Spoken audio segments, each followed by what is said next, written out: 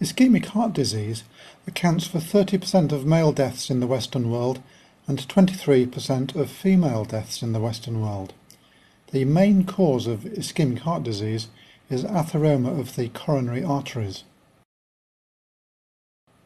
The main clinical outcomes of ischemic heart disease are stable angina, unstable angina, cardiac failure, myocardial infarction, and of course, sudden death.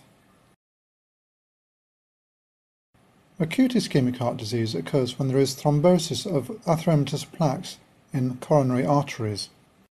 25% of cases are due to ulceration of endothelium overlying the plaque, and 75% of cases are due to fissuring and bleeding into the plaque or thrombosis of the plaque.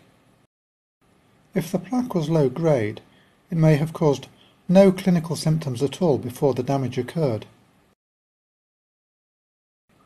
This is a coronary artery narrowed by atheroma, and thrombus has formed on top of the atheroma. The red area in this photograph is an area of bleeding into an atheromatous plaque. Unstable angina is caused by fissuring of atheromatous plaques. It may progress to myocardial infarction or death may occur from a ventricular arrhythmia.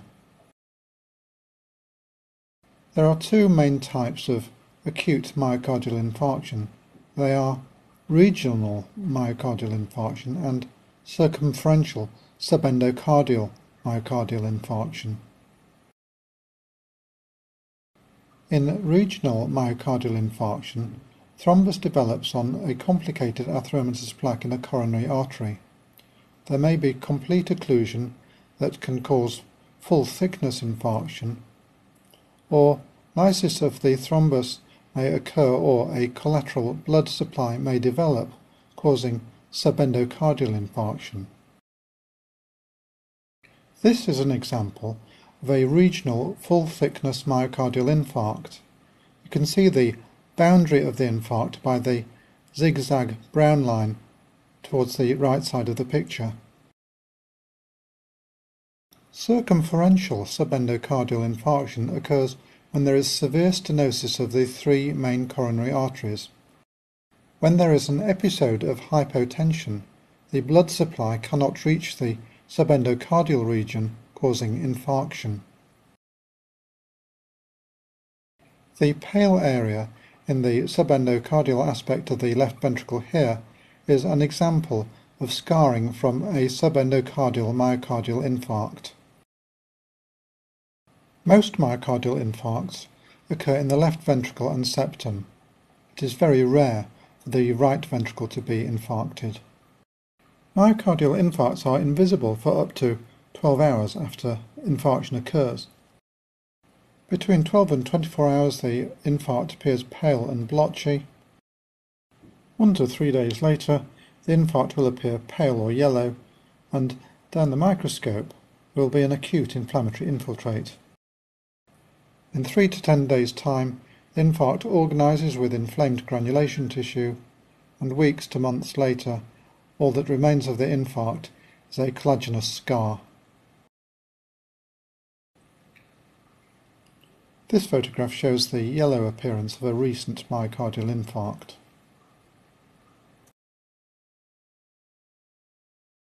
And here is an acute inflammatory infiltrate in an area of recent infarction. The white tissue between the muscle fibres is fibrosis from an old myocardial infarct.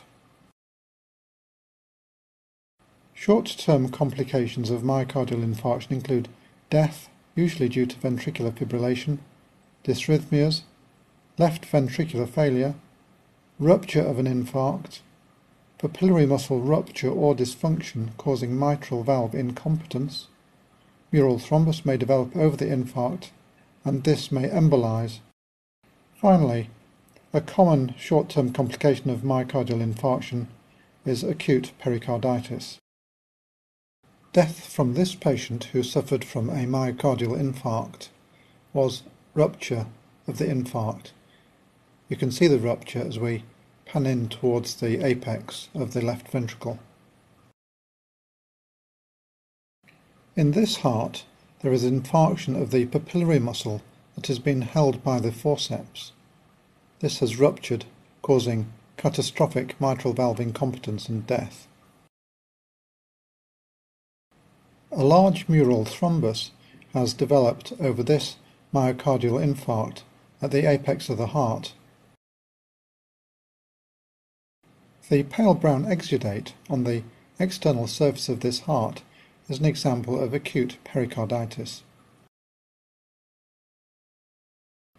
Long-term complications of myocardial infarction include recurrent myocardial infarction, chronic left ventricular failure, ventricular aneurysm, and rarely Dressler syndrome. This is an immune-mediated pericarditis that occurs two to ten months after the infarct. This is an example of a ventricular aneurysm, a long-term complication of myocardial infarction.